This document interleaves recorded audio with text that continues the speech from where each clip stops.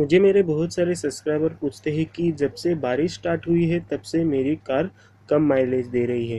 पहले वो पंद्रह का माइलेज देती थी, अभी उसका एवरेज सिर्फ़ तेरह या बारह का ही मिल रहा है। क्या ये बारिश की वजह से हो रहा है या फिर हमारी कार में कोई प्रॉब्लम है? तो दोस्तों, मैं आपको बताना चाहूँगा कि आपकी कार में कोई प्रॉब्लम नहीं है, ये बारिश की वजह से हो रहा है।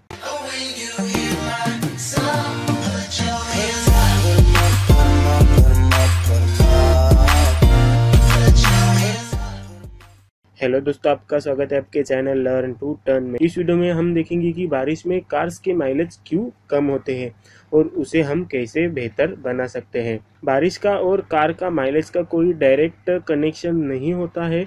बारिश में माइलेज कम होने की काफ़ी सारी वजह हो सकते हैं। बारिश में रोड पर रहने वाली पानी की वजह से फ्यूल इकोनॉमी पर इफ़ेक्ट होता है। जितना ज़्यादा पानी, उतना ज़्यादा माइलेज पर इफ़ेक्ट होगा। कार आगे बढ़ते वक्त कार के टायर्स रोड पर रहने वाले पानी को पुश करते हैं, जिसमें ज़्यादा एनर्जी की ज़रूरत लगती है। और जितना ज़्यादा एनर्जी की ज़रूरत लगेगी, उतना ही ज़्यादा फ्यूल कंज्यूम होगा। और अब चलती बारिश में ड्राइविंग करते वक्त बारिश की बूंदों की वजह से होने वाला ड्रैग काफ़ी इफ़ेक्टिव रहता है। और वो काफ़ी नोटिसेबल भी रहता है। आप नोटिस करोगे कि कार को पिकअप लेने में हमेशा से ज़्यादा वक्त और एफर्ट लग रहे हैं। इस कारण भी ज़्यादा फ्यूल कंज्यूम होता है। हमारी ड्राइविंग स्टाइल भी काफ़ी मायने में मैटर करती है, क्योंकि बारिश में लो विजिबिलिटी के कारण हमें स्लो ड्राइविंग करनी पड़ती है। प्लस रोड पर रहने वाले गड्ढों के कारण हमें स्लो और सावधानी से ड्राइविंग करनी होती है। बारिश में ट्रैफ़िक भी काफ़ी हद तक बढ़ जाती है। ऐसे वक्त बार बार रुकने और चलने के कारण काफ़ी हद तक फ्यूल कंज्यूम होता है। ये मैंने खुद ऑब्ज़र्व किया है। जब मैं नॉर्मल वेदर में साढ़े तीन सौ किलोमीटर ड्राइव करता था, तब मुझे एक हज़ार आठ सौ का पेट्रोल लगता था। तब मेरी कार पंद्रह किलोमीटर पर लीटर का एवरेज देती थी। लेकिन जब मैं बारिश में साढ़े तीन सौ किलोमीटर ड्राइव करता हूँ, तब मुझे दो हज़ार सौ रुपये या फिर दो हज़ार दो सौ रुपये का पेट्रोल लगता है। माने कि मेरी कार तेरह से बारह तक एवरेज देती है बारिश में।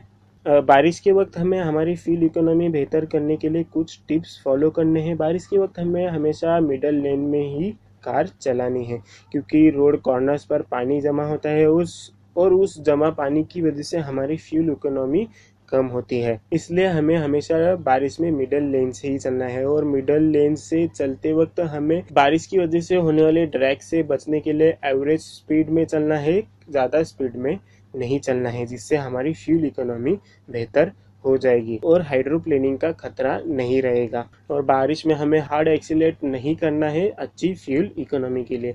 तो दोस्तों, आशा करता हूँ कि आपको मेरा वीडियो समझ में आएगा मेरा वीडियो पसंद आएगा अगर आपको मेरा वीडियो पसंद आए तो प्लीज़ लाइक करिए शेयर कीजिए और मेरे चैनल को सब्सक्राइब करना ना भूलें, क्योंकि मैं ऐसे ही वीडियोज़ के साथ आते रहता हूँ। अगर आपने मेरे पुराने वीडियोज़ नहीं देखे तो ऊपर आई बटन में जाकर आप उन वीडियोज़ को देख सकते हैं। तो दोस्तों, हमेशा की तरह वही कहूँगा कि हमेशा ड्राइविंग करते वक्त ट्रैफ़िक रूल्स फॉलो कीजिए, क्योंकि वो हमारे ही सेफ्टी के लिए होते हैं। ड्राइविंग करते वक्त अलर्ट रहिए और अपने अपने मोबाइल से दूर रहिए।